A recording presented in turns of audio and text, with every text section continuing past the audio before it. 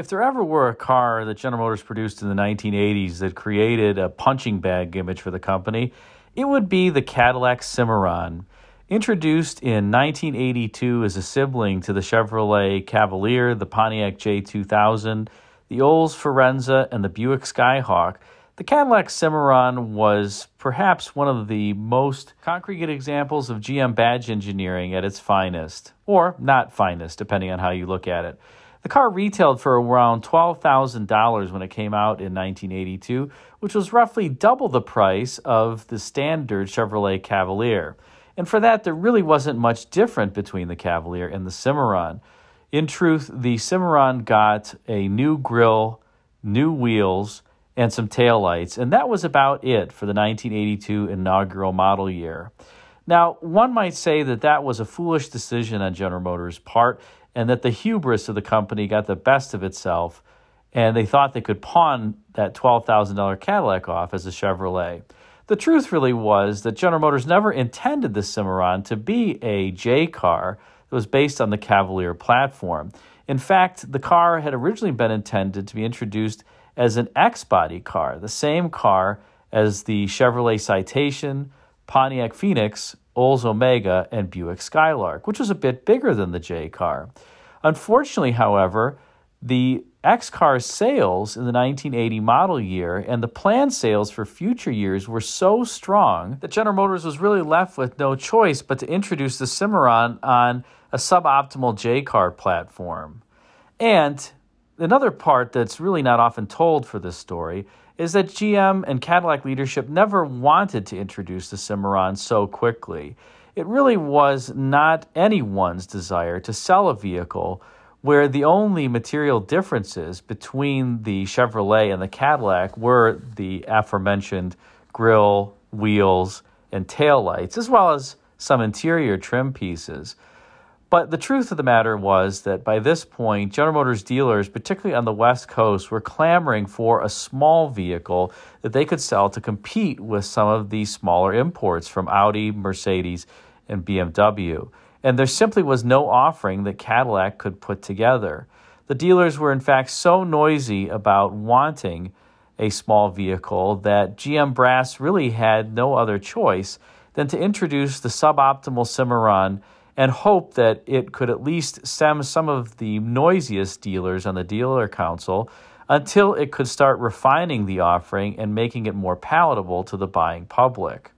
This is eventually what happened to the Cimarron is each year something new changed on the car and eventually by the time the vehicle ended production in 1988 it was actually the best driving Cadillac in Cadillac's entire lineup, at least if you wanted a sportier vehicle.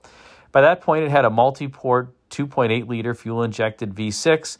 It had some of its own unique sheet metal, including hood and front fascia, and it also had distinctive rib styling that Pontiac would pick up on as well, both inspired by earlier Mercedes vehicles with that lower body side ribbing. And while it's still a favorite punching bag of automotive journalists all these years later, 40 plus years later, the truth of the matter was is the car really wasn't that bad of a vehicle, nor was it all that great. Certainly, the 1982 model year Cimarron suffered from a number of woes, including a part spin 1.8 liter overhead valve engine that came under hood, which was so bad that General Motors upgraded it to a 2 liter engine across the J car lineup for the 1983 model year, and in some cases also brought in a 2 liter overhead cam four cylinder for use in the J cars, although not in the Cimarron, because everyone universally hated the 1.8 liter engine that was underhood for the 1982 model year. But particularly by the 1985 model year, the Cimarron started getting its unique sheet metal, including the signature Cadillac Power Dome hood, a new front fascia, and a V6, and it became a pretty decent vehicle. And that leads me to the story of a particular Cadillac Cimarron that I'd like to talk with you about for a moment. Now, viewers of this channel will know that I have a soft spot in my heart for this little Cadillac J car, as do a number of automotive collectors, frankly, now, as shocking as that may seem.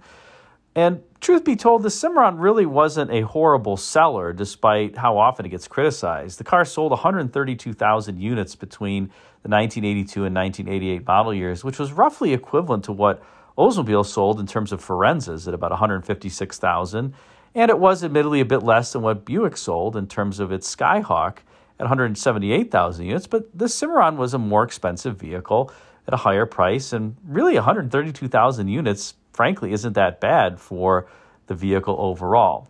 Regardless, I've been looking for one of these Cimarrons on the side for some time. I thought it would just be a cool car to have because every automotive journalist out there criticizes it. I'm sure that my viewers would really enjoy a take on a Cimarron from an ownership perspective as opposed to just the typical journalist perspective. And so I was trolling Facebook Marketplace as I like to every once in a while, and I located a Cadillac Cimarron for sale, a 1986 version, on Facebook Marketplace. And the ad said it only had 9,500 miles, needed some minor work. And I thought, huh, boy, that does look like a low mileage car. After all, these J cars with 100,000 plus miles, they just look very, very tired. You can tell if the car has over 100,000 miles on it. And this one, it also had the credit option Morgan cloth interior. These came standard with a leather interior, but you could get this particular so called Morgan cloth interior for a reduction in the overall price. And I thought, boy, that's pretty interesting. I always prefer cloth instead of leather anyway. Leather just gets sticky and cold and hot in various weather conditions. And I noticed the car had a couple also other features that I really like. Clearly the V6, which is a must-have if you're going to get a Cimarron, at least from my perspective. Has the analog gauges, so you don't have to worry about the digital gauge cluster going out and having to rebuild it, which is pretty typical now that these cars are 40 plus years old. And it had super low mileage at 9,000 miles and was a nice color, this light blue, as you can see here. Appeared to be in overall nice shape. So I contacted the seller. The car had been posted for about 12 hours, and he had already had, he told me, about 10 calls since posting it, but I was the first person that he actually had talked to. So I struck a deal very quickly, and the car is on its way to me. I think it'll be a fun little piece of automotive history to restore. It needs some things. It needs a headliner.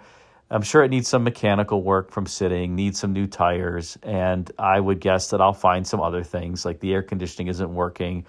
It may take a recharge, it may not. We'll have to find out, but that's part of the adventure. And I thought that I would at least procure it for no other reason than to bring joy to my viewers who know that I have a penchant for 1980s era General Motors vehicles. They are highly imperfect vehicles in a number of ways. But there's just something about driving an 80s era General Motors vehicle, particularly on a fall or a spring day. They tend to just evoke childhood memories for me, and I hope that they do for you as well. So stay tuned as this Cimarron makes its way to me in the Midwest, and we'll do a full review and we can compare it to other Cadillacs in the stable as well, see how it stacks up. Stay tuned for more, and until that time, be sure to check out my interview with John Manoogian, who is Cadillac's assistant chief designer on the Cimarron, whose team actually put the vehicle together. Now, before you criticize John and the team, bear in mind that nobody in the Cadillac design team wanted to do this car or thought that it would be a success. John's task was pretty simple. He got a grill, wheels, and taillights, and that's all that he could change to try to turn the exterior of the Cavalier into a Cimarron. So don't fault him for that. I'll just say that in advance before you watch the interview. But check out the link here below until you see the car in the flesh.